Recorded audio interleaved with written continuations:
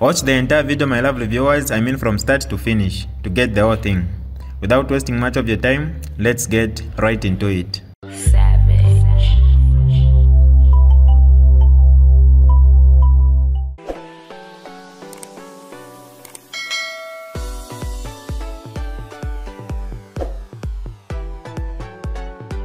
Hi lovely viewers, it's me again your one and only Mtati Mpundu. Welcome to my YouTube channel. If this is your first time on my channel, kindly subscribe to my YouTube channel by hitting the red subscribe button down below and turn the bell icon to join the notification squad. Don't forget to like, share and leave a comment. Tell me what you think about this video in the comment section below. I'll be super glad to hear from you lovely viewers. Sabine.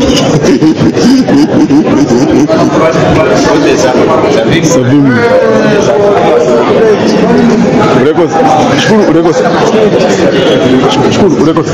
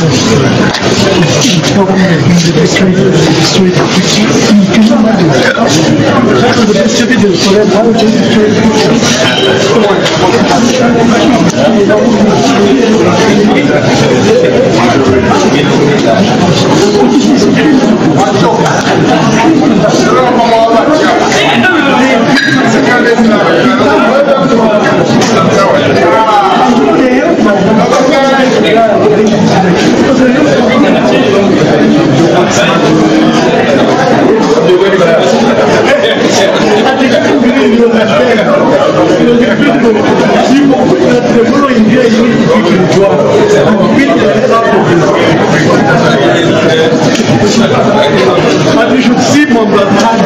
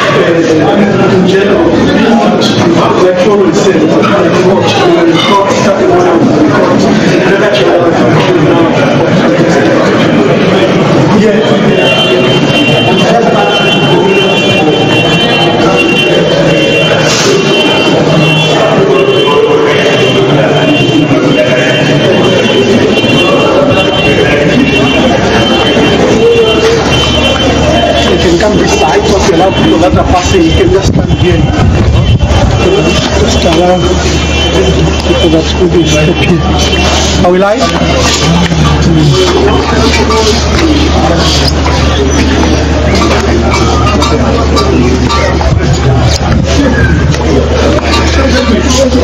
Okay. For those um, joining us on social media, I think uh, our Vice President, Honorable Given Lubinda, will give brief remarks why we're at High Court and why we are here, and uh, he can proceed.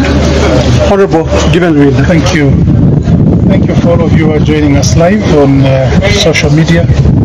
I would like to inform you that today we had five matters that were running concurrently. We had a matter involving myself, we had a matter involving Emmanuel Mwamba, a matter involving Stardy Mwale, a matter involving Raphael Nakachinda here at the subordinate court. And at the same time, we had a matter uh, in which Raphael Mangani Nakachinda sued the masquerader Miles Sampa in the High Court. Today, we're very happy that uh, the application by uh, three of our colleagues, three of those eight presidential aspirants in the, in the Patriotic Front, namely uh, Brian Mundubile, Kafwaya Mutotwe, and uh, Greyford Monde, their application to join the matter in which Raphael Mangani Nakachinda, on behalf of the party, sued Sampa, has, succe- has succeeded the judge has accepted that the three be joined to the matter, and because of that application, which was successful, the matter was adjourned to 4th of December. I'd like to thank all patriotic members for turning out in large numbers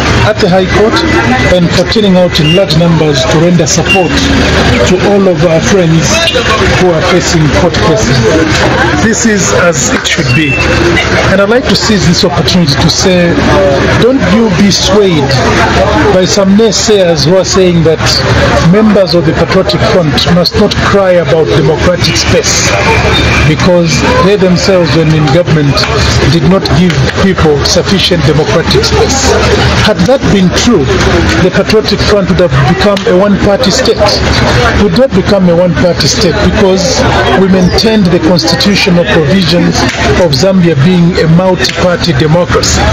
The dwindling democratic space that we're seeing now is because of the appetite by one Hakainde Hichilema and his UPND regime to destroy multipartism to create a one-party state.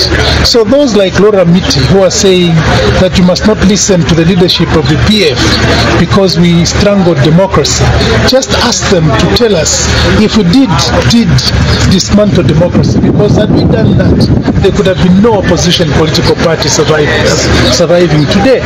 There are many political parties. Others were actually formed during our 10-year rule. Political parties were formed because we allowed them to be formed. We were true Democrats. And when we complain about the dwindling and shrinking democratic space, it is not from without.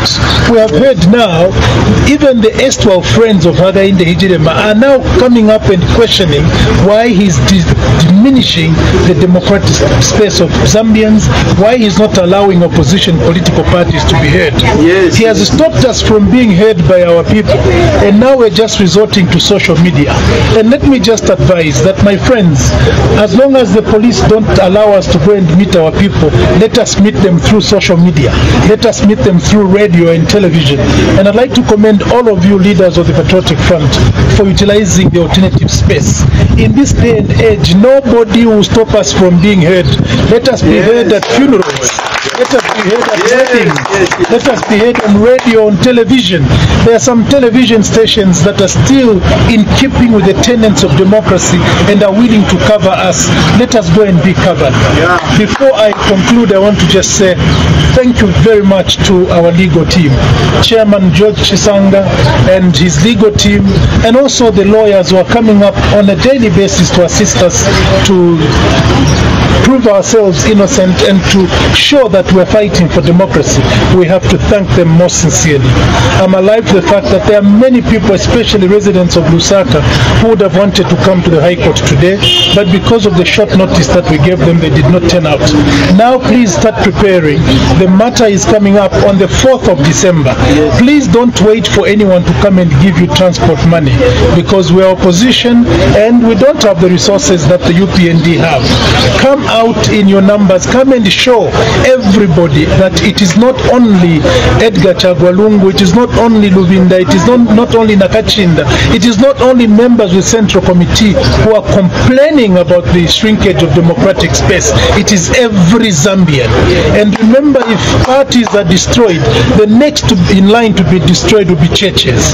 After that, it will be the media. And after that, no Zambian shall be able to speak. We have already started hearing how people are being arrested simply for complaining that vintu vavuta vantu amanga. So if you don't protect democracy in Zambia, you are making it difficult for us to be heard and making it difficult for your children to stand up and be counted. Time has come, irrespective of what Cornelius Mweetwa says about us saying stand up for democracy. Don't be intimidated. Let us rise and defend democracy. That is our God-given right to make sure that we govern ourselves as a democratic state. This is the reason why our forebears lost their lives to fight for Zambia's independence. This is the reason why in 1990-91 all of us Zambians forced Kenneth David Kaunda to amend the constitution by repealing Article 4 without even going for a referendum. He did that because he knew that that was the will of the people.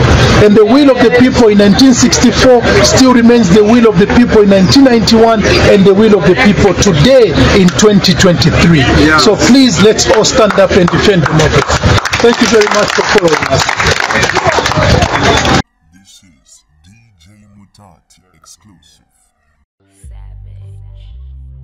Alright, that's all for you today, lovely viewers. If you did enjoy the video, please don't forget to leave a comment in the comment section below. Tell me what you think about the video you just watched in the comment section below. I'll be super glad to hear from you, lovely viewers. Once again, I go by the name of Mutati Mpondo. I love you, peace, I gotta go.